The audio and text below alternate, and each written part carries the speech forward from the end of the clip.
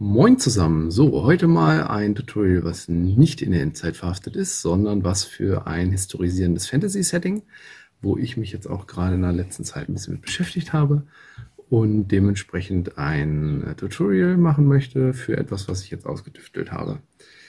Vorneweg, was ich heute erzähle, ist für Lab und es ist ein einfacher und günstiger Versuch, eine historische Hutmode äh, umzusetzen. Das Ganze hat keinerlei Anspruch, historisch korrekt zu sein und hat garantiert keinerlei Reenactment-Standard oder ähnliches, weil wir reden heute über den Cocked Hat, der mit Sicherheit auch für viele Reenactor ein sehr wichtiges Thema ist.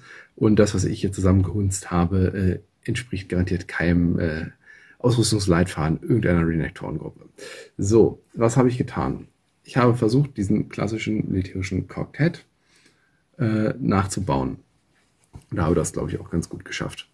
Sieht erstmal aus wie ein Dreispitz. Hm. Jetzt mal hier so ein ziviler Dreispitz. Cocked Sieht sich relativ ähnlich, hat aber wesentliche Abweichungen. Eine wesentliche Abweichung, die man relativ schnell sieht, ist, man sieht hier relativ gut, den beim normalen Dreispitz habe ich hier drei gleichmäßige äh, Klappen, die hochgeklappt sind und entsprechend dann auch festgenäht sind. Ja, guck mal, ein Streichholz. Ähm, die entsprechend hoch festgenäht sind. Wenn ich das mit dem Cocked Hat vergleiche, sehe ich, dass die drei Klappen hier ungleichmäßig sind. Ich habe eine sehr, sehr große Rückklappe und ich habe zwei kleinere Vorderklappen, die entsprechend dann äh, ja, sozusagen den Frontpart bilden. Äh, das Ganze sieht getragen dann etwa so aus. Nicht wundern, der sitzt schief, das soll so, weil äh, Dinge, die ich von Renektoren gelernt habe, hier bewegt sich die Muskete. Wenn das Ding da ist, hast du keine Freude. So, so sieht das Ding dann ungefähr auf dem Schädel aus. Ähm, ich habe jetzt hier entsprechend versucht, einen zu basteln, der äh, gleich die richtigen Farben hat für die äh, Gruppe, in der ich dann auch spielen werde. Und ich werde jetzt heute einen zweiten davon bauen und es versuchen, anhand dieser Geschichte dann einmal zu erklären, was ich mache, was ich brauche, etc. Wie gesagt, ganz wichtig, Lab, nicht Reenactment. Ähm, ich versuche bewusst mit Dingen zu arbeiten, an die man rankommt, die man relativ einfach auch zur Verfügung hat ähm, und nicht irgendwelchen elaborierten Shops suchen muss. Aber da komme ich gleich noch zu. So, wir haben uns jetzt äh, kurz mit den äh, Unterschieden beschäftigt. Aber jetzt ist die Frage, was, was hat dieser tolle Cocktail eigentlich an Features. Was kann der eigentlich, was ihn jetzt so besonders macht im Gegensatz zu dem normalen Dreispitz? Ähm, naja, er ist ganz funktional, also könnt ihn als Funktionsbekleidung bezeichnen. Zum einen haben wir, was vielleicht äh, nicht so ganz üblich ist, wir haben ein relativ hohes Hutband, äh, Hutband, Schweißband. Ich will immer Hutband sagen, es tut mir leid. Ähm, ein relativ hohes Schweißband. Das hat hier einfach auch die Funktion, dass es innen diese Bänder hält, die die Seiten hochklappen. Und das ist nämlich auch eine seiner tollen Funktionen. Man kann sozusagen diese Knoten hier drin aufmachen. So, und jetzt sieht man hier, dass diese Bänder lustig durch, den, durch die Kalotte vom Hut durchgezogen sind und außen entsprechend auch. Und dadurch werden sie sozusagen rangezogen oder ich kann sie lösen. Das gibt zum Beispiel den großartigen Vorteil, dass wenn es im Sommer scheiße heiß und äh, sonnig ist, was es natürlich auf keiner Großkon in Deutschland jemals sein würde, kann ich mir die dümmste Basecap der Welt TM bauen und habe eine wunderbare Verschattung vom Gesicht und erfülle jedes Hut-Credo und jede Anforderung der Richtung zum Vielfachen. Ja, wunderbar, wunderschön blöd. Ähm, tatsächlich eine der Funktionen, die auch historisch durchaus genutzt wurden. Ähm, was ich auch machen kann, wenn mir meine Kokade nicht gerade komplett runterflappt, ist halt den Hut auf mehr als einer Seite runter machen. Zum Beispiel jetzt hier alle Seiten bis auf die Kokade. Das ist zum Beispiel eine Variante, wenn ich mich nicht komplett irre, wie sie auch durchaus getragen wurde. Zum Beispiel äh, hat, glaube ich, die Light Infantry der Briten die früher teilweise so getragen. Ja, ihr seht, also doofes Hut-Credo, yes ma'am. Ähm, ja, viel mehr Features gibt es nicht, außer äh, lustige Puschel, die möglichst blöd aussehen und äh, dass er halbwegs regenstabil sein sollte. Ja, kommen wir mal dazu, wie wir den bauen. Was brauchen wir jetzt erstmal an Werkzeug? So, Werkzeug. Ähm, ja. Was ich brauche ist was zum Schneiden, eine Rasier- oder Trapezklinge. Ich würde euch an der Stelle empfehlen, nehmt hier eine Trapezklinge zur Hand, kauft euch die einfach mal. Es gehen auch diese Abbruchklingen. Wichtig ist, ihr braucht eine relativ scharfe Spitze später für gewisse Dinge während der Sache. Genau, ein bisschen Nähzeug. Ähm, ihr braucht ein weißes und ein schwarzes Garn. Die habe ich lustigerweise jetzt noch gerade nicht rumliegen, aber die hole ich mir gleich noch, wenn ich dann ins Nähen gehe. Ähm, genau, vernünftiges großes Messer, eine Schere wäre vielleicht auch sinnvoll. Das Ding, Pinzette wird noch richtig wichtig, zeige ich euch dann. Ähm, genau, ansonsten braucht ihr an Kleinzeug ein äh, farbiges Band, was dann hier sozusagen dieses, äh, diese Kokardenbefestigung bildet, wo man dann hier lustig die Kokade reinschieben kann. Da gibt es auch verschiedene Varianten, da werde ich ja glaube ich heute nicht drauf eingehen, weil da kenne ich mich selber überhaupt nicht aus. Ich habe jetzt hier einfach nur was improvisiert, was erstmal als Platzhalter dient. Genau, ihr braucht äh, weißes Band, äh, offiziell es, glaube ich, Körperband, hatte mir äh, eine Bekannte mitgeteilt, wenn ihr es darunter sucht. Ansonsten, wenn ihr es auf diversen chinesischen Online-Shops sucht, heißt es Webbing. Äh, aber denkt dran, wenn ihr es euch in China bestellen wollt, macht's jetzt, weil ab 1. Juli fällt die Zollfreigrenze weg. Yay! Danke, deutscher Zoll. Ähm, genau, was wir brauchen, ist was für den Rand. Da benutze ich hier ähm, Schrägband. Das ist 40 mm Schrägband, schon entsprechend vorgeplättet und vorgefaltet. Und ein wenig Wolle, die ist hier jetzt bei mir so ein bisschen schon gewellt und geriffelt. Die wird dann eben benutzt, um hier diese äh, die äh, Puschel, keine Ahnung wie der Fachbegriff ist, zu machen. Ähm, zeige ich euch aber auch entsprechend dann alles noch. So, genau fangen wir an mit dem Rohling.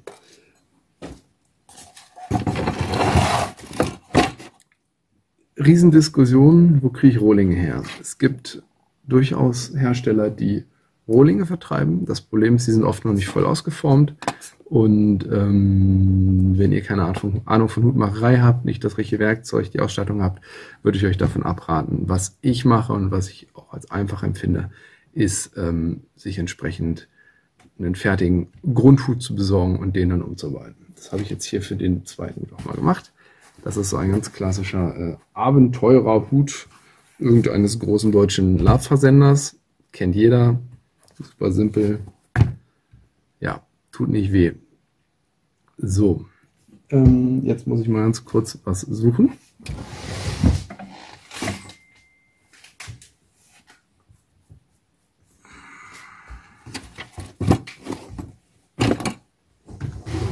So, das Ding ist, wird noch später wichtig, deswegen wollte ich das mal holen. So, jetzt fangen wir hier mit dem Ding mal an. Was wir jetzt hier als allererstes machen, sind zwei Dinge. Das allererste ist, wir nehmen uns eine Klinge und trennen dieses olle Hutband hier raus. Äh, Schweißband, nicht Hutband. Ähm, das Problem an diesem Hutband ist, es ist aus Polyester und wir wollen es nicht.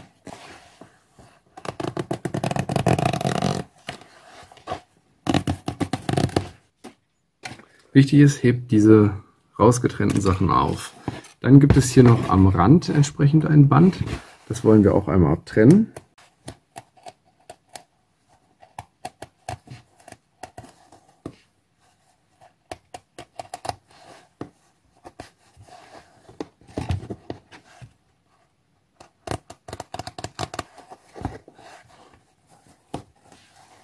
So, habe ich hier das Außenband auch ab. Auch das heben wir auf. Jetzt sieht man hier, dass dieser Hut hier noch die, äh, die Krempe auch noch einmal umgenäht ist. Auch das wollen wir aufmachen. Warum? Wir wollen nämlich möglichst eine große Krempe haben. Und diese Verstärkung ist für uns gar nicht so richtig sinnvoll. Und es ist einfach nochmal ein halber Zentimeter Krempe, der uns gut zu Passe kommt.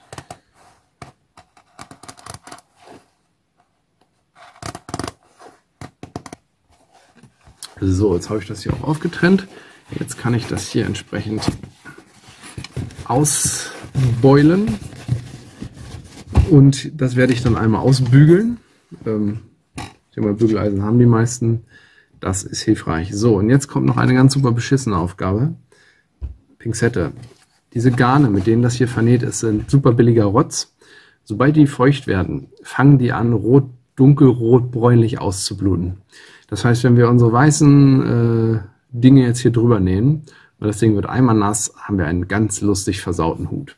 Das heißt, was ich jetzt tatsächlich mache, ist, ich nehme mir meine äh, Pinzette und gehe hier dann komplett einmal außen rum und ziehe alle Fäden, die noch irgendwo zu sehen sind, aus dem Hut raus. Da hilft es, ich rubbel das immer so einmal über, das löst schon mal die meisten. Und dann kann ich beim zweiten Rundgang einfach mit der Pinzette reingehen und das, was noch fest ist, relativ einfach rausziehen. Gebt euch da bitte richtig, richtig Mühe, äh, saugt den vielleicht zum Schluss auch noch einmal ab, dass nichts zurückbleibt. Dasselbe gilt hier für den Bereich, wo dieses Schweißband fest war. Sorgt dafür, dass keinerlei von diesen, ähm, von diesen Garnen mehr da sind. Macht euch das Leben wirklich einfacher hinterher, weil ich habe alles nochmal nähen dürfen, weil ich es nicht gemacht habe. Dann habe ich ihn einmal nass gehabt und plötzlich war alles Brot, braun und eklig. Ähm, ist eine Viertelstunde Arbeit, kann ich euch wirklich empfehlen. Ich lasse es jetzt mal, ich mache es dann mal im Off, weil ich noch ein, zwei andere Sachen zeigen will, bevor ich dann nämlich eine Nährpause bis morgen einlege und dann das Tutorial weitermache. So, wir haben jetzt hier einmal dieses Band von außen rum. Jetzt nehmen wir unser Schrägband und messen entsprechend auch einfach dieselbe Menge, ein bisschen mehr Schrägband ab. Dann reicht uns das nämlich auf jeden Fall für unsere, unsere Hutrandgeschichte. So, das haben wir dann schon mal. Dann brauchen wir entsprechend noch die, na komm, brauchen wir entsprechend noch die Bänder, um den Hut später hochzubinden. Da empfehle ich so, ja, weiß ich nicht, so entspannt einmal die Arme auseinanderlehnen. Das reicht. Davon nehme ich zwei, das wären sozusagen vorne links und vorne rechts. Und den dritten für hinten mache ich ein Spür länger, damit man den besser findet. So, dann habe ich meine drei Bänder hier. Zeige ich euch dann später. So, jetzt kommt der wirklich interessante Part. Stopp, nee, eine Sache müssen wir noch zuschneiden. Das habe ich gerade schon fast vergessen.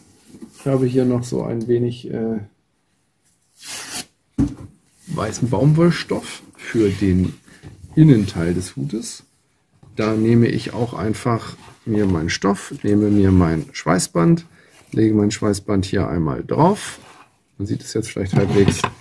Schneide mir das so im Groben und Ganzen einmal in der Länge zu. So, was ich jetzt hiermit machen werde ist, ich werde das einmal falten Ups. Ich werde es jetzt hier oben einmal zusammennähen, dass ich einen Schlauch habe. Dann natürlich versäubern und dann werde ich den Schlauch umdrehen. Und äh, mehr zeige ich euch dann auch, wenn ich alles zusammengenäht habe. Sozusagen morgen oder übermorgen, wenn ich in Teil 2 gehe. Neuer Tag, neues Glück. Ich habe gestern Abend mal das getan, was ich gestern soweit schon äh, angekündigt hatte. Ich habe einmal die äh, Nähte hier versäubert. Aber ich sehe hier gerade noch einen kleinen. Ist das einer? Ne, es war keiner mehr. Gut, kein Fadenende. Wichtig ist, dass ihr bei der ganzen Geschichte hier wirklich, wirklich äh, intensiv schaut. Es gibt einmal halt außen zwei Nähte. Es gibt innen die beiden Nahtlinien und es gibt hier diese, ja, diese, diese äh, Mulde, wo sich auch gern was drin festsetzt. Da sollte man wirklich, wirklich intensiv schauen dass man da nicht zurückbehält. Weil, wie gesagt, alles, was drauf bleibt, ist im Zweifel hinterher ganz, ganz übel und macht euch viel, viel Zusatzarbeit. So, das habe ich gemacht. Was ich noch gemacht habe, ist, wie ihr sehen könnt, ich habe das Ganze jetzt schon mal gebügelt. Sprich, ich habe diese halben Zentimeter, äh, der vorher eingeklappt war, habe ich ausgebügelt. Ähm, für alle, die mit Hüten noch nichts zu tun hat, dafür am besten das Bügeleisen erstmal auf Volldampf stellen und dann sozusagen von Hand rausbügeln und Stück für Stück den Rand dann sozusagen flach bügeln. Und wenn ihr das habt, äh, nutze ich zur Fixierung immer gerne für solche Sachen jetzt Sprühstärke, weil sich das einfach ganz gut macht, ähm, um es ein bisschen zu befestigen. So. Ähm, was wir jetzt machen wollen, ist diese ganze Geschichte hier mit den Bändern. Ne, also einmal hier diese Ansichtsseite und dann entsprechend hier auch die Schlitze in der Kalotte, um das Ganze dann von innen hochziehen zu können. Was ich dazu mache, ist, ich gucke mir meinen Hut an. Wir vergleichen das jetzt mal. Man sieht hier, dass ich hier auch praktisch die Ovale so genutzt habe, wie man sie sieht. Also sprich, der eigentliche Kopfpart, die Kalotte, sage ich jetzt dazu. Ich habe keine Ahnung, wie es offiziell heißt. Ich behaupte, es heißt Kalotte. Ähm, soll halt in diesem Ovalen auch bleiben, weil die ist halt darauf ausgelegt, unsere Köpfe sind halt äh, entsprechend auch oval. So, das heißt, was ich jetzt erstmal mache, ist, ich gucke mir einmal an, dass ich hier sozusagen mir die Achsen markiere. Und dann gucke ich mir, und da bin ich jetzt ganz dreist, ich spicke das jetzt einfach mal bei diesem Hut, weil Sachen, die man schon einmal gemacht hat. Ne? So, das ist sogar halbwegs auf einer Höhe. Jetzt kommt hier mal so ganz grob das Ganze rüber. So, es muss auch nicht super fein sein. Es geht nur darum, dass wir so ein bisschen wissen, wo wir später die Anschläge sozusagen machen. Wenn wir jetzt mal gucken, ich äh, soll ich das hier mal zeigen. Auch hier sind die Schnitte, wo es dann reinläuft, relativ weit oben. Das heißt, was ich jetzt hier versuche noch zu machen, hier habe ich teilweise ein bisschen zu weit unten, aber das werde ich jetzt hier beim zweiten besser machen. Ich werde jetzt hier einfach mal mir auf dieser Linie, wo der Hut fast in die Rundung schon übergeht, einfach mal, komm schon. Ihr seht, das ist als Augenmaß, aber das ist trotzdem noch okay. So. Jetzt habe ich hier meine Schnittlinien. Das heißt, ich habe später hier eine Befestigung, ich habe hier eine Befestigung, ich habe hier eine Befestigung. So, jetzt müssen wir die ganze Sache auf der Außenseite machen. was ich zuerst mache, ist, dass ich einmal das Ganze mir vorstecke, um zu gucken, ob ich irgendwo kompletten Blödsinn gemacht habe. So, das heißt, ich klappe jetzt gerade hier die hintere Seite einmal rein. So, machen wir das mal so. Schubs mit einer Nadel kurz fix fest.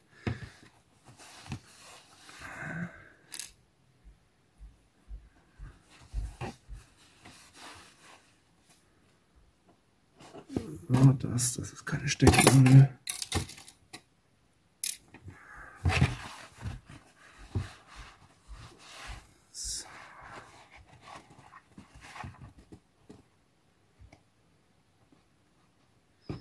So, und schon merke ich, dass er noch gar nicht ganz gerade ist. Ne? Das sieht man jetzt schon. man sieht auch, dass ich hier die Nadeln sehr, sehr, sehr unterschiedlich drin habe. Das heißt, wenn ich die jetzt etwa auf die Höhe nochmal setze, dann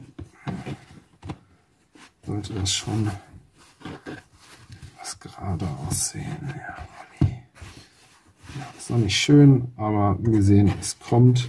Und auch bei meinem ist das, wenn man da drauf guckt, das in diesem Zustand naja, eher so semi-perfekt. Ne? Also man sieht schon, dass diese Seite hier ein bisschen breiter ist, was auch daran liegt, dass das hier noch nicht richtig hochgezogen ist. Äh, wie man so schon sagt, guckt sich weg. So, jetzt hat er sich hier aufgelöst. Was ich jetzt aber machen möchte, ist, ich markiere mir jetzt im Großen und Ganzen kurz einmal sozusagen meine Stellen, an denen ich die äh, ganzen Sachen haben möchte. etwa da und etwa da. Ja, das sieht gut aus. Und hier hinten wollen wir das etwa da haben. So, ich habe jetzt hier praktisch außen drei Markierungen gemacht, wo im Groben die äh, Schnürungen sitzen sollen. So, Einmal die Nadeln wieder raus. Wie gesagt, der Rest äh, ist ein bisschen ausprobieren. Es kann auch sein, dass wenn ihr selber macht, ihr gerade in der Kolotte zwei, drei Schnitte mehr habt, bis es alles richtig sitzt. Das tut aus meiner Sicht aber keinen großen Abriss, solange ihr da nicht riesige Schnitte reinmacht. Versucht sie einfach so schmal zu halten, wie sie sein müssten. So, ich fange jetzt mal hinten an. Das heißt, ich möchte hier, irgendwie bei mir, möchte ich äh, hier dieses System sozusagen haben. Was ich mir jetzt benutzt habe, ist tatsächlich äh, super simpel. Und zwar ist es ein Streichholzbriefchen. Äh, Streichholzpäckchen heißt es ja. So, das heißt, ich mache mir jetzt hier mal zwei Linien. Das ist sozusagen mein Abstand in der Höhe. Und jetzt habe ich für mich entdeckt, wenn ich das jetzt einmal außen anzeichne und dann einmal außen anzeichne. So, jetzt ist meine Methode, dass ich grob weiß, dass ich das gleich schief gemacht habe. Naja, ne? ich sag, ist alles, alles Augenmaß. So, und jetzt nehme ich mir meine Trapezklinge und mache hier etwa auf der Hälfte des äh, Ganzen zwei kleine Schnitte. Wichtig ist, dass man weit genug, wenn man so rumschneidet, außen ansetzt, dass der Schnitt dann sozusagen auch in der Mitte ist und hier natürlich entsprechend innen ansetzen. So, und oben mache ich das genau andersrum. Da mache ich die Schnitte außen, außerhalb der Markierung. So, und jetzt schauen wir uns das mal an, ob das was geworden ist. So, ich nehme mein Band. Ich benutze jetzt zum Durchfädeln meine Pinzette. Die macht sich dafür ganz gut. Das heißt, ich nehme jetzt hier einfach das Ende, suche mir eins von meinen unteren Löchern, stecke das da rein und wiederhole das Ganze auf der anderen Seite. Das war nix.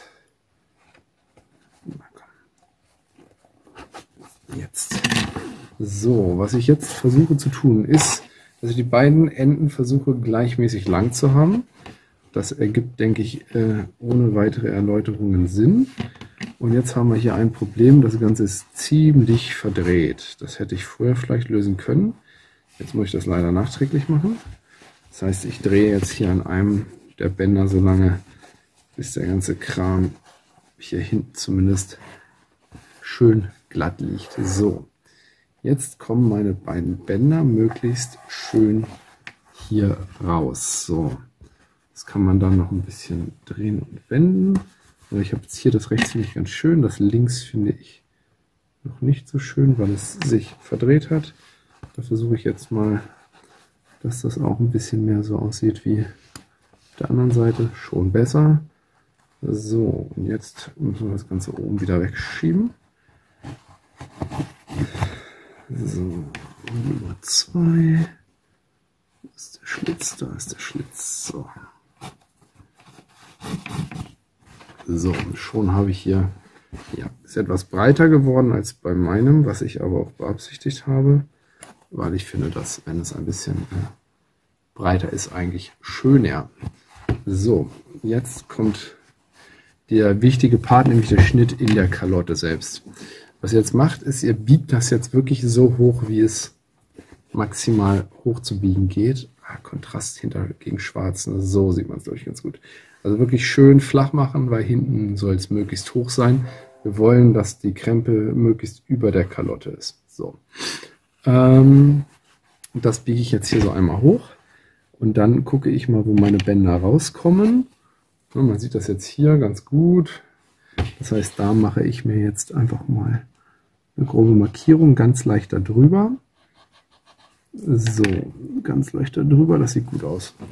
So, das ist jetzt ein bisschen unter meiner ursprünglichen Markierung, aber das ist nicht schlimm. Wir testen das jetzt hier einfach mal aus. So. Hier machen wir jetzt entsprechend wieder zwei Schnitte. Passt auf, dass ihr euch dabei nicht in die Finger jaucht. Ups, der ist ein bisschen breit geworden, aber es ist nicht schlimm, weil das ist nur semi-wichtig. Sollte nur nicht mehrere Zentimeter lang sein. Also grob so breit wie das Band ist gut, weil dann rutscht das Band auch nicht durch. Das heißt, wenn ihr mal innen den Knoten nicht super, super fest macht oder es vielleicht auch einfach mal vergesst oder er sich löst, fällt euch der ganze Kram nicht komplett auseinander, weil dann sozusagen der Filz so ein bisschen wie so ein Bremsklotz wirkt. So, jetzt haben wir hier Nummer 1. Ich mache es jetzt einfach, dass ich die Enden mit einem einfachen doppelten Hausfrauenknoten sozusagen sichere, also zweimal durchgezogen Und dann bekommt man hier so eine schöne kleine Kugel, die dann auch durch diese Öffnungen nicht mehr abhauen kann. Außer es zieht jemand mit Kraft dran, die nicht äh, Teil der Planung ist. So, und wenn ich das jetzt hier zusammenbinde, ich bevorzuge es hier einen halben Schlag zu machen, für alle, die ihn kennen. Es gibt eine Möglichkeit Schleife, finde ich aber auf so beengten Raum mal schwierig. Ich mache jetzt hier mal einen halben Schlag. So, sieht man auch, der ist nicht hundertprozentig fest. So, jetzt haben wir hier schon mal eine Seite. Ja, sieht jetzt schon mal irgendwie ganz ähnlich aus.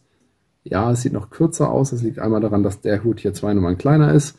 Und zum anderen ist der weiße Rand noch nicht drauf. Der bringt da auch nochmal eine ganze Menge. Und die Frage ist auch, ob man ihn jetzt so fest machen muss, wie ich das jetzt gerade getan habe. So, machen wir einen zweiten. Weil ich will fertig werden und euch zeigen, wie ich es mache. So, ich mache jetzt auch nur noch diesen einen hier, den anderen mache ich dann sozusagen offscreen. Äh, ich will euch nur einfach einmal hinten und einmal sozusagen die Seiten zeigen, damit ihr grob wisst, was ihr tun müsst. So, jetzt sieht man hoffentlich, hm, Kontrollblick, yep. Jetzt sieht man, dass hier die Bänder ein bisschen höher rauskommen. Das ist normal. Was ich jetzt möchte ist, den Schnitt möchte ich nicht dort machen, wo sie rauskommen, also hier. Ich mache das mal in die Kam obere Kamera, also hier, sondern tatsächlich ein Stück darüber.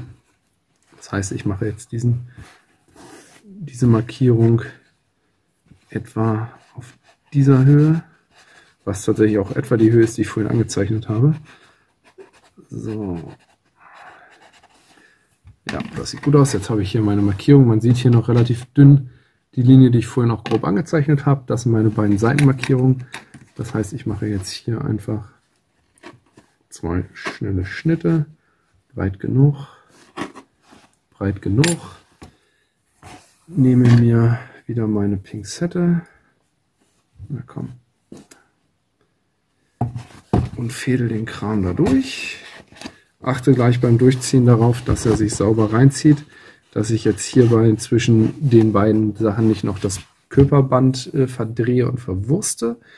So, dann haben wir das, dann haben wir das. Und schon haben wir hier eine Seite. Und wenn man die jetzt mal, ich versuche die zweite Seite mal dagegen zu halten, wenn man die jetzt auch hoch hält und sich das von oben anguckt, ich weiß, Kontrast ist ein bisschen scheiße, es tut mir aufrichtig leid, ähm, sieht man aber schon, dass die Form etwa hinkommt. wenn ich jetzt mal meinen anderen Hut drüber lege, dann sieht man, dass das, äh, das ist natürlich ein Tick zu groß, Schrägstrich ein Tick zu nah dran. Ich mache das mal so, versuchen wir das mal so rum. Ja, genau. Also man sieht jetzt, dass die Form durchkommt. So, das ist der Trick mit den Bändern zum Hochbinden. Ich schnüre das Ganze jetzt einmal wieder auf, weil ich möchte euch jetzt kurz was zum Rand erzählen. So, ganz wichtig, wenn ihr an dem Hut arbeiten wollt, zieht die Bänder ruhig relativ weit raus. Was ich daran erinnert, dass ich hier noch die Sperrknoten drauf machen sollte. Ähm, damit die, die Krempe relativ wieder flach wird und ihr daran vernünftig arbeiten könnt. Alles andere ist nämlich blöd. So. Sperrknoten. So, jetzt müssen wir. So, und äh, weiter geht's im Text. Wir müssen jetzt noch das weiße Band außen drauf bringen und wir brauchen unser Hutband. Beides zeige ich euch jetzt zumindest die Ansätze. Weil wenn ich euch jetzt hier komplett ein vornähe, äh, dann werdet ihr alle abschalten. So, hier habe ich jetzt meinen Küpper, äh, Küpperband sage ich schon, mein Schreckband. Und lustigerweise waren da schon ein paar schwarze Fusseln von dem Originalfäden äh, drauf. Da achtet drauf, dass ihr das nicht habt. Ich weiß, ich nerve damit, aber es war wirklich eine schmerzhafte Erfahrung, äh, das alles normal machen zu müssen. So. Was ich jetzt mache, ist meine Methode. Wenn einer eine bessere findet, bitteschön. Ähm, ich gucke mir jetzt an, wo ist hinten, wo ist vorne. Das hier ist vorne, das hier ist hinten ich fange an anzusetzen, sozusagen in dieser, da wo später der, äh, die Puschel drüber liegen. Und wo habe ich es hier? Ha, auf der Seite sieht man es. An der Stelle, wo der Puschel liegt, habe ich hier den, die Überlappung, was ganz cool ist, weil dann sieht man die nicht. So, das heißt, ich werde irgendwo hier anfangen. Okay, das mal kurz so. Was ich jetzt mache ist, ich lege mein Schrägband drüber. Wenn man das jetzt hier drauf legt, sieht man, ich lege es einfach mal so drauf, ihr seht, dass man in der Mitte hier diesen äh, Bereich sieht, wo das Körperband nicht deckend gefaltet ist. Es sieht nicht optimal aus, wenn man das sieht. Was ich deswegen mache, ist praktisch, dass wenn man von oben drauf guckt, ich das mit dieser Kante hier bündig sozusagen oben an die Hut, an den Hutrand lege, lege, sodass dieser durchsichtige Bereich praktisch auf der auf der äh, Filzkante liegt, wo er dann nicht stört und wo man das gar nicht so richtig sieht, dass das halt ein Schrägband ist, was an dieser Stelle halt so ein bisschen durchsichtig ist. So, jetzt würde ich das halt einmal rundherum feststecken und dann ganz, entsp ganz entspannt mit einer einfachen, äh, einfachen Naht, komm, stell mal scharf bitte, mit einer einfachen Naht festnähen mit einem weißen Garn. Das ist es im Grunde genommen an der Stelle. Ähm, so, dann zum Inlay. Da habe ich hier, also hier schon mal das genähte Teil. Und jetzt brauche ich eine Nadel mit schwarzem Garn. Kurzer Schnitt. Schwarzes Garn. So. Ähm, was ich euch jetzt an Technik zeige, ist, wie ich es mache. Wie gesagt, wie immer kein äh, Gewehr für, das ist die beste Methodik. Aber ich glaube, dass ich damit ganz gut liege, weil ich nähe es nicht so fest, dass man es nicht wieder rauskriegt, sondern ich stecke es praktisch einfach nur mit einer sehr, sehr lockeren Naht fest. Weil, sind wir ehrlich miteinander, wir werden die Dinge auch viel im Sommer tragen, gerade auf Großkonsaison. Und ich muss euch sagen, wenn ich eine Woche mit dem Deckel äh, übers Epic, Conquest oder Drachenfest geeiert bin, möchte ich, glaube ich, mein Schweißband auch mal waschen. Deswegen mache ich so, dass ich es einfach schnell raustrenne und wieder reinnehmen kann, damit ich zumindest den Teil ordentlich waschen kann. Ich habe jetzt dieses Stück Stoff, wie gesagt, zusammengenäht, was ich gestern erzählt habe. Ich drehe es jetzt einmal fix um, dann schon Schluss beschleunigen, damit das Rumgefuddel hier nicht noch mehr Zeit in Anspruch nimmt. Das Video wird eh schon eine Stunde lang gefühlt. Jetzt haben wir es. So. Einmal auf rechts gezogen. Und jetzt mache ich eine wichtige Sache. Erstmal nehme ich hier die Schrägwand wieder runter. Ich nehme jetzt dieses äh, Ding und man sieht, dass sich das hier schon so ganz passig, so etwa auf ein Viertel abgefaltet hat, dass die Naht nicht am Ende ist. Und das ist auch genau das, was ich haben möchte. Warum? Das Ding liegt ja später um den Kopf. Das heißt, ich möchte die Naht halt nicht unten haben, dann würde mir die Naht, die ist zwar kein großer Buckel, aber die würde mir immer irgendwie in die Stirn oder in den Kopf drücken, sondern was ich machen möchte, ist praktisch, dass ich das Ding so rum reinnähe in den Hut, dass die Naht irgendwo oben liegt, wo der Kopf dann halt schon zusammengeht und wo sie mich nicht mehr stört. Dementsprechend nehme ich mir jetzt meinen Hut, nehme mir meine, mein äh, Schweißband und lege das so rein, dass die Naht unten ist. So, und jetzt setzen wir mal wieder hinten an, würde ich sagen. Und dann ist immer wichtig, dass man einmal kurz einklappt, um zu gucken, wo die Hutkante eigentlich final sein wird.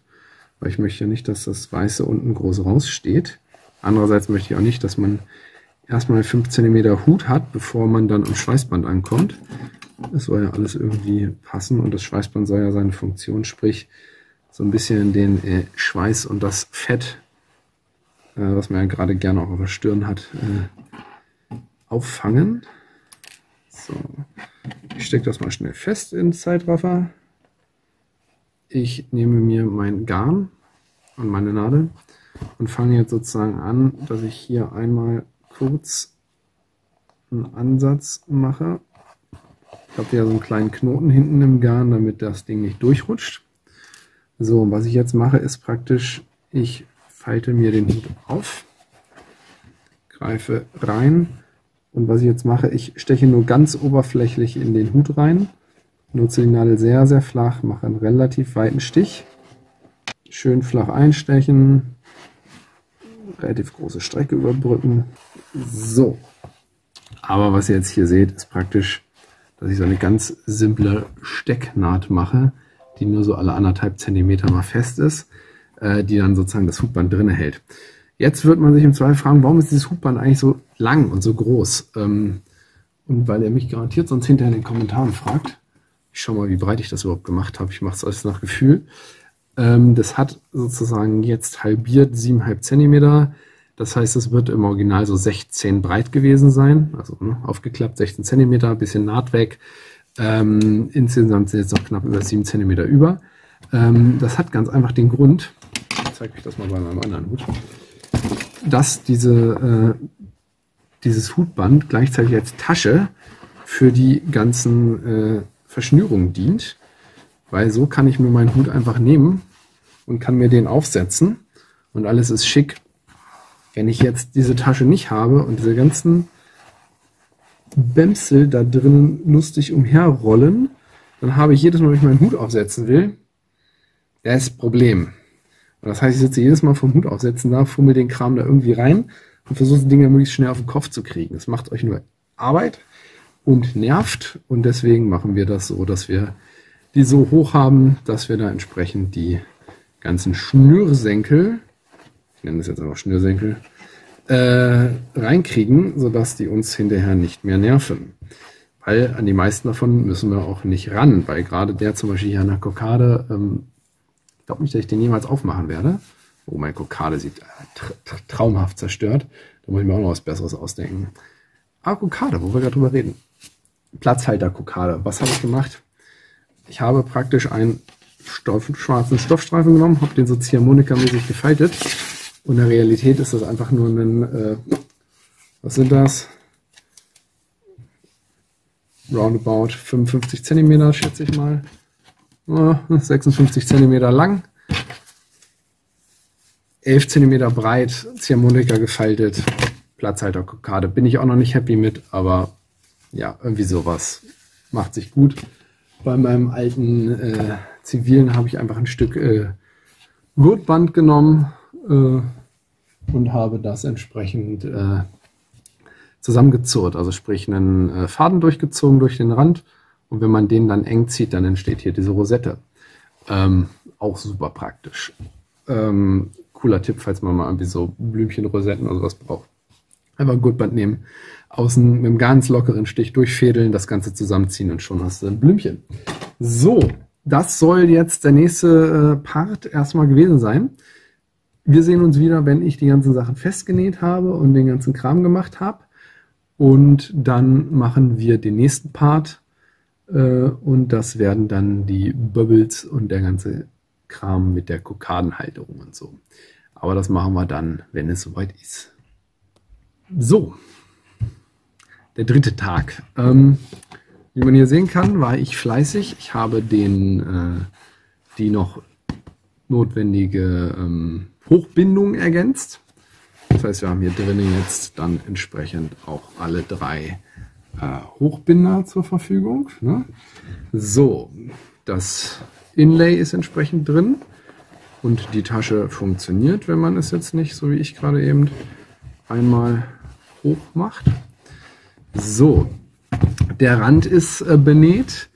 Die Form ist auch ganz passig. Da muss man nochmal nachbügeln, aber das ist Kleinkram, der sich dann Stück für Stück auflöst. So, kommen wir zum Feinschliff. Was wir jetzt noch brauchen, auf jeden Fall, sind hier unsere Toddeln.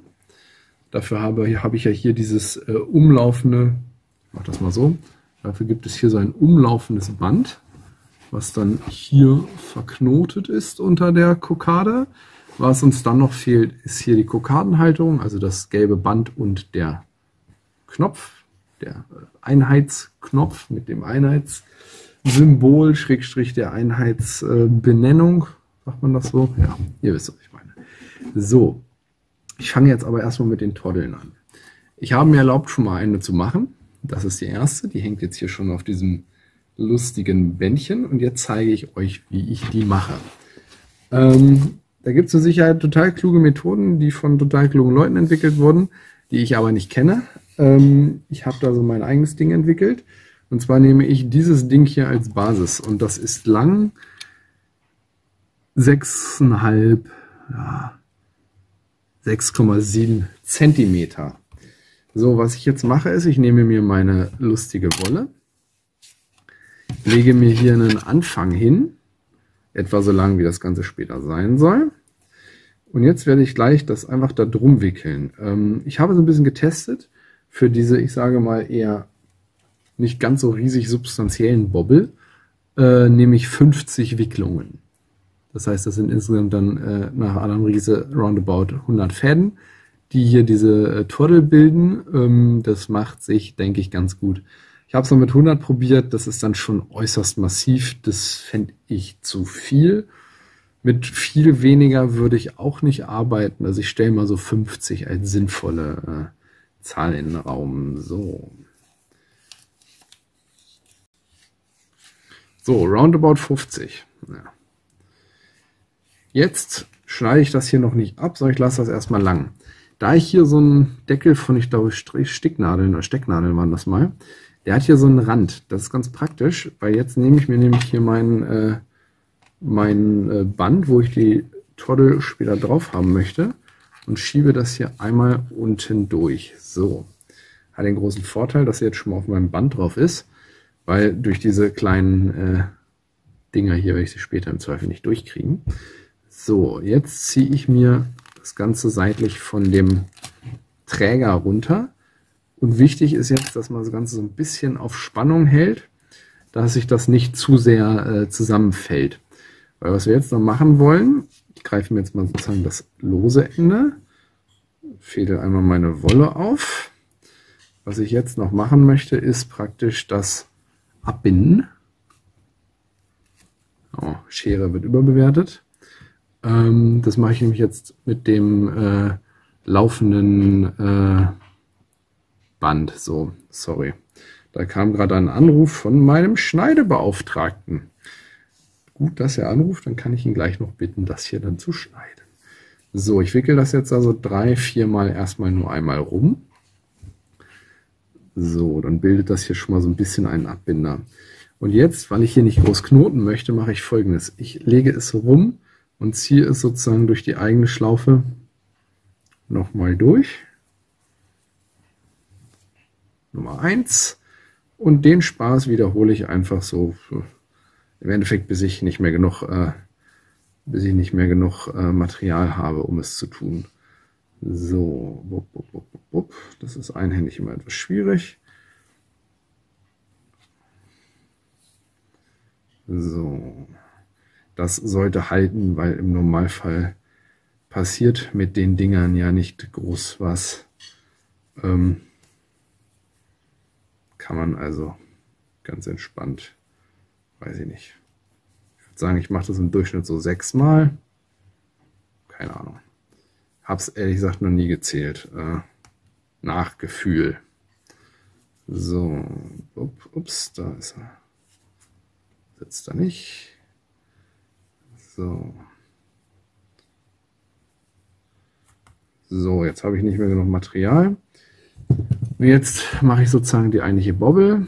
Das heißt, ich schneide jetzt hier einfach diese ganzen Stränge, diese ganzen äh, Runde einfach auf. Jetzt habe ich hier das, ab, das Ende, was sozusagen vom Abbinder noch da ist, schneide ich einmal auf der richtigen Länge ab und schon habe ich zwei von diesen lustigen Toddeln. So, befestigen. Entschuldigung, es staubt hier tierisch. So, ich nehme mir meine Toddeln, nehme meinen Hut. Es wäre jetzt einfacher, wenn ich ihn nicht hochgebunden hätte, aber es geht auch so. So, jetzt ziehe ich den ganzen Spaß da einmal durch. Wow, da bin ich ja tatsächlich sogar halbwegs gut gewesen mit dem Schätzen. Jetzt suche ich mir mal zwei Stecknadeln, aber ich merke, ich habe meine Stecknadeln noch da, wo ich gestern genäht habe. Stecknadeln. Ich habe mir gleich ein paar mehr geholt, weil ich werde gleich auch noch ein paar mehr brauchen. So, was ich jetzt mache ist, ich lege die Toddeln jetzt hier sozusagen auf den Rand, dass sie ja schön rüber gucken. Und später werde ich das jetzt hier mit einem ganz einfachen kurzen Stich festnähen. Aber das muss jetzt nicht sein, weil das kostet uns jetzt hier im Tutorial nur unnötig Zeit. Und wie ihr näht, wisst ihr, glaube ich. So, das ist Nummer 1. dann ziehe ich diesen, das hintere Band sozusagen erstmal so halbwegs stramm. Also nicht stramm im Sinne von, äh, es steht hart unter Spannung, sondern stramm im Sinne von, es hat nicht den äh, Bedarf raus, würde, selbst wenn die, äh, wenn sich die kleine Naht hier löst, würde es nicht rausfallen. Das ist so der Grad von Spannung, den ich haben will. Ähm, so. Und schwupps haben wir hier das Ding auch fest und es verdeckt hier gleich noch schön diese Nahtstelle, ne, wo, die, wo, der, wo der Rand sozusagen übereinander liegt. Das fällt jetzt gar nicht mehr so auf. Jetzt ziehe ich mir das hier durch. Ich ziehe mir das hier durch. Und ich mache es jetzt so, keine Ahnung, ob das sinnvoll ist, aber ich habe es mir so angewöhnt. Und meine Nadel hält nicht, hervorragend. Es ist immer das gleiche, wenn man parallel Dinge erzählt und Dinge tut. Eins von beiden wird immer scheiße und das ist in diesem Falle die Arbeit. So, was ich jetzt mache, ist wieder relativ simpel. Äh, ich binde es zusammen. Ich spare mir jetzt mal das Ganze aufzubinden, damit es nicht noch länger dauert. So wichtig ist, dass man das Band am Hutkörper einmal ganz nach unten drückt, dass das nicht sich irgendwie aufschiebt und wenn es das nämlich tut, ist das ein wenig blöd, weil es dann äh, eventuell zu eng sitzt, wenn man es runterzieht und dann den Hut verkleinert, was wir nicht wollen. So, fixer halber Schlag. Und jetzt stopfe ich das ganze überzählige Material unter den äh, äh. Heute mit den Nadeln habe ich es offensichtlich. Ich hätte es doch festnehmen sollen, das wäre wahrscheinlich äh, jetzt in Summe schneller gegangen. So, hoffen wir mal, dass das jetzt hält. So, jetzt habe ich hier meine beiden Toddeln fest und kann mir, obwohl er mir wahrscheinlich deutlich zu klein ist, diesen Hut aufsetzen und habe lustig, lustig meine Toddeln. Ja, er sitzt deutlich zu hoch, aber das ist auch okay. So, das ist Punkt 1. Punkt 2. Wir wollen unsere Kokadenbefestigung machen. Kokade kommt links hin. So, was wir dafür brauchen, ist einmal, also für jetzt dieses Projekt, wieder dieses Köperband, ist wieder 10 mm, das habe ich glaube ich gar nicht erwähnt gehabt. Auch das weiße ist ein 10 mm Köperband. Das hier ist jetzt entsprechend ein farbiges, was äh, ansonsten gleich ist. So, wie viel braucht ihr davon? Was ich mir gemerkt habe, weil es funktioniert, ist, ihr nehmt euch den Hut, und legt das Köperband von einer Spitze zur anderen. Das ist auf jeden Fall genug. Weil was wir jetzt tun wollen ist, so wie bei diesem hier, wollen hier unten den Knopf ergänzen. Der sitzt sozusagen ganz knapp unterhalb der äh, Befestigung. Und dann wollen wir später so das Band ergänzen, dass es nicht zu straff und nicht zu locker ist. Ich werde jetzt erstmal fix diesen Knopf festnehmen. Das ist einer unserer wunderschönen äh, Ocorn Creek Militia Knöpfe. Ähm, den werde ich jetzt erstmal kurz rannähen. Das werde ich euch einmal äh, verzeitlupen, damit das nicht ganz so langweilig ist. Und äh, jetzt mache ich es trotzdem auf.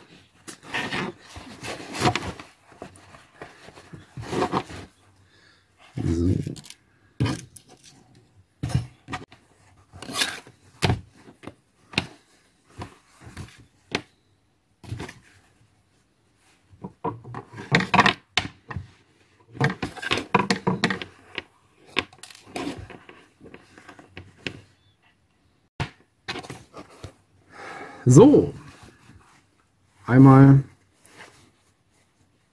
Knopf fest. Hm. So, jetzt kommt nur noch unser lustiges Bändchen. Da hat sich für mich bewährt, das einmal zu halbieren. Dann legt man das möglichst gleichmäßig, also dass es keine äh, Windungen hat. Das ist, glaube ich, der richtige Begriff. Oder Verdrehungen. Dann fädelt man das hier so über diesen Knopf. Und was ich jetzt ganz ästhetisch fand oder finde, ist, wenn man das dann sozusagen äh, so ein bisschen äh, versucht in einem ähnlichen, äh, in einem ähnlichen äh, Winkel wie die äh, sonstigen äh, Bänder hier zu machen. glaube, das sieht ganz gut aus. So, stecken einmal. Und hier auch so ein bisschen, dass das oben etwa die Hälfte vom Ding überdeckt. Jetzt stecken wir auch das mal eben einmal fest. So, jetzt nehmen wir uns hier mal unsere äh, Notkokade, die ich natürlich gestern beim Zeigen erfolgreich zerstört habe. Die werde ich jetzt mal ganz kurz, so ganz grob äh, zusammenraffen. Gerade kurz egal sein. So, wo ist er? Da ist er. Wir nehmen unseren Stöffchen und schieben den, Schrägstrich, legen den jetzt hier drunter und dann pinnen wir den sozusagen fest. Ich binde das mal wieder hoch, damit wir das auch vernünftig sehen können. So, das sieht doch dann eigentlich schon ganz nice aus. Ich muss mal kurz die Hutbenzel wieder verpacken. Das ist leider immer das Problem, wenn man einmal dran war, dann fallen die alle aus diesen Taschen raus. Das muss man dann immer ein bisschen nacharbeiten. So, jetzt tun wir mal alles, was nicht nach außen gehört, nach innen. Dich auch. Und jetzt haben wir hier wunderschön eine Kokanbefestigung. Und um mich nochmal ordentlich lächerlich zu machen, könnte ich mir diesen Hut jetzt, oh Gott, sozusagen nach Dienstvorschrift aufsetzen und sehr ausreichend bescheuert aus. Ja, ähm, Cocked ähm, ich muss euch das jetzt leider zusammenschneiden, weil ich keine Lust hatte, mich hier die äh, roundabout vier, viereinhalb, fünf Stunden Arbeitszeit hinzusetzen äh, und das dann irgendwie als Zeitraffern. Ähm, ich werde das jetzt hier oben nicht mehr festnähen. Ich denke mal, ihr wisst, wie man ein Stück äh, Körperband festnäht. Äh, innen würde ich es einfach abschneiden. Also ich würde es innen hier nicht so lang lassen, sondern vielleicht hier dann abtrennen, das hier runternähen. Ähm, genau. Das ist im Grunde genommen, ja, wir sehen, auch unser altes Kreuz ist noch vorhanden. Das zeigt uns äh, grob, ob wir alles richtig gemacht haben. Ich gebe euch einen Tipp, wenn ihr das Ding das erste Mal tragt, werdet ihr merken, dass irgendwas nicht ganz sitzt. Sei es hier irgendwo die Schnitte, die nicht gut sind oder dass ihr es zu fest oder zu locker geschnürt habt. Das müsst ihr einfach testen. Tut aber überhaupt nicht weh, das nochmal zu ändern. Ich habe hier unter auch zweimal schneiden müssen, weil ich mich beim ersten Mal relativ hart verschnitten habe bei dem dritten Hochbinder, was man nicht zeigt. Ne? Mal ist der Vorführeffekt, mal ist genau der umgekehrte Effekt. Ihr werdet sowieso das eine oder andere nochmal ändern müssen. Und hier nervt mich jetzt das, was ich hier immer drunter schiebe. Deswegen schiebe ich das da drunter, damit das nicht ständig rausflattert. So, ja, Cocktail. Arbeitsaufwand vier bis fünf Stunden, würde ich behaupten. Äh, Summe für das ganze Material hatte ich, glaube ich, eingangs nicht erwähnt. Der Hut sind roundabout 40 Euro bei den üblichen Lab-Großhändlern. Klassischer Abenteurerhut gibt es, glaube ich, bei Mytholon, gibt es mit Sicherheit auch was Vergleichbares bei Burgschneider oder wen es auch immer noch mal alles gibt. Ich habe keine Ahnung mehr, wen es noch alles gibt. Mm. Da kriegt ihr sowas her äh, Körperband in Farben kriegt ihr auf Ebay, kriegt ihr auf, ähm, auf AliExpress und diesen ganzen China-Seiten, Wish wahrscheinlich auch. Ähm, denkt dran, ab 1. Juli fällt, meine ich, die Zollfreigrenze weg. Dann zahlt ihr mindestens 6 Euro für das Paket, egal was es wert ist. Danke, deutscher Zoll, das war wirklich notwendig. Dringend benötigte Subventionen für deutsche Versanddienstleister offensichtlich. 40 äh, mm äh, Schrägband kriegt ihr, ich habe es durch von Amazon bezogen oder von eBay, ich weiß es nicht mehr, auch im örtlichen Handarbeitsladen, aber dank Corona hatte zu dem Zeitpunkt noch alles zu. Also Online-Shopping wollen, kommt ihr auch online ran. Ähm, versucht was zu nehmen, was möglichst wenig Polyanteil hat, sondern viel Wolle, weil man sieht es einfach. Ähm, die Farbabgleichung mit euren anderen Farben ist schwierig. Versucht es da nicht so perfekt zu machen. Das funktioniert einfach nicht. Ich habe, glaube ich, drei verschiedene farbige Körperbänder in Gelb bestellt oder Gelbtönen. Ist jetzt das geworden, weil es immer noch insgesamt am besten passt. Und mit den Aufschlägen vom Rotrock wird sich dann auch wieder beißen. Da hinten liegt noch ein anderes, was nicht ganz so gut ist. Es ist zu dunkel. Das hier würde zwar insgesamt wahrscheinlich besser zum Rotrock passen, was ich jetzt an Stoff habe, aber es ist halt, fällt zu sehr aus dem Gelbton raus. Ja, also lange Rede, kurzer Sinn. Versucht nicht zu perfektionistisch zu sein. Ähm, das bringt euch nichts. kosten. Das Ding 40, so ein Ding Wolle kostet irgendwie 2,50 Euro. Körperband, äh, das Schrägband habe ich, weiß ich, Fünfer für bezahlt. Äh, die beiden Körperbänder roundabout auch, also rechnet mal irgendwie mit 60 Euro Material äh, plus Arbeitszeit, dann seid ihr safe aus meiner Sicht. Gerade sowas hier lohnt sich auch gemeinsam zu kaufen, kann man gut tauschen, weil kein Mensch braucht das alles. Genau dasselbe gibt fürs Körperband. Ja, Knöpfe müsst ihr gucken. Wie gesagt, wir haben jetzt äh, eigene Knöpfe aufgelegt. Das macht sich ganz geil. Ähm, kann man auch jeden anderen äh, Uniformknopf nehmen. Durchmesser sind 23 mm für den Knopf. Wie gesagt, die Körperbänder 10 mm, der, äh, das Schrägband 40 mm. Genau, so. Ansonsten braucht man nicht viel. Ich hoffe, dass es für euch ganz interessant war. Und nochmal der große Disclaimer, Laput, nichts anderes. Ähm, falls irgendwann mal Renektoren das hier sehen, haut gerne was in die Kommentare, was ich alles falsch gemacht habe. Ich lerne gerne dazu. Und wenn es da wie geilere Tutorials gibt, die das viel besser zeigen oder noch bessere Quellen, wo man sagt, da kriegt man die perfekten Rohlinge äh, zu vernünftigen Preisen, immer gerne die Kommentare. Ähm, das hier ist eine solide Notlösung, so würde ich es mal bezeichnen. Ähm, ja, dann soll es das hier gewesen sein. Wird eher ein elendig langes Video, aber ich hoffe, es ist informativ ja, wenn es euch gefällt, schreibt was drunter oder so, ähm, dann weiß ich, dass es was taugt. Und wenn nicht, dann schreibt es halt auch drunter. Schönen Abend noch!